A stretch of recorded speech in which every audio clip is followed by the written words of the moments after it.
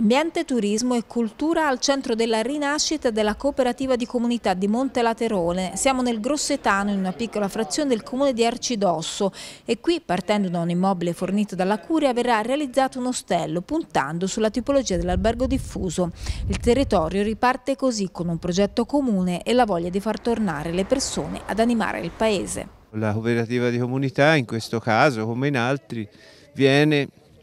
nel momento in cui c'è una ripartenza. La cosa bella di oggi è che abbiamo anche trovato tante persone, tante, insomma, alcune persone che sono tornate, sono tornate a vivere in questa frazione, in questo paese, dopo che avevano fatto esperienze da altre parti. Quindi, insomma, come diciamo spesso, se si creano le occasioni, forse questi territori che chiamiamo marginali possano avere anche delle potenzialità. Ci siamo resi conto che Montelaterone ha tantissime storie da raccontare e che è bello condividere, ha tantissime facce, tantissimi volti tantissime piccole relazioni perché alla fine nei piccoli centri le storie piccole diventano molto più grandi, molto più importanti e allora anche per non farlo morire abbiamo detto bene iniziamo a raccontare, lo facciamo con il teatro, con l'arte, con la musica, con le fotografie, eh, però iniziamo a ri ricordarci chi siamo e quindi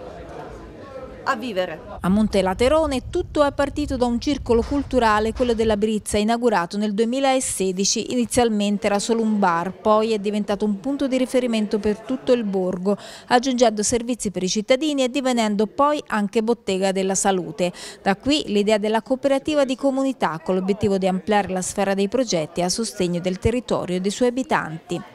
speriamo di poter diciamo, riuscire a concretizzare il nostro sogno completo che è il circolino come hai detto che è stato un po' il punto di partenza, l'ostello che dovranno iniziare a breve lavori grazie a questo contributo della Regione Toscana.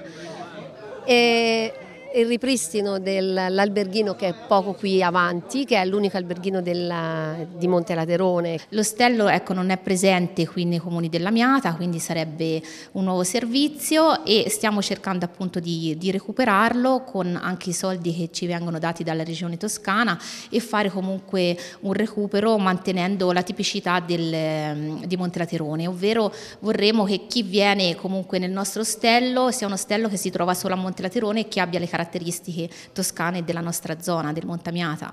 Il sindaco di Arcidosso ha poi spiegato che intorno alla rinascita del borgo ruotano anche altri progetti legati non solo al turismo ma anche alle nuove tecnologie con l'obiettivo di attrarre finanziamenti anche da progetti europei. Il turismo è una cosa importante ma poi bisogna creare anche lavoro stabile e, e tutte le frontiere diciamo, che possono essere offerte da, dalle nuove tecnologie, da internet e dal digitale, potrebbero diciamo, in qualche modo rendere attrattivo un borgo come Montelaterone che eh, offre una grande, una grande possibilità di avere una qualità della vita molto alta.